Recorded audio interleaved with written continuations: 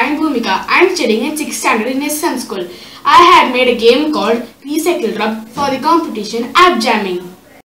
Okay, let us see the game. This is homepage. Let us go to instruction place. These items are recyclable and these items are trash. Let us just play game. Now we have recycled things. So now we have to catch recycled items. So I have ping pong and the bucket is going.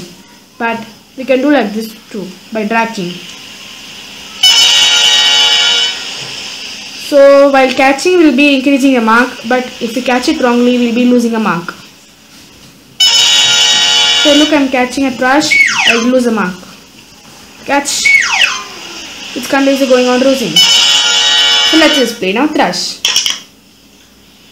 Now you have to catch trash items. Then everything will be increasing.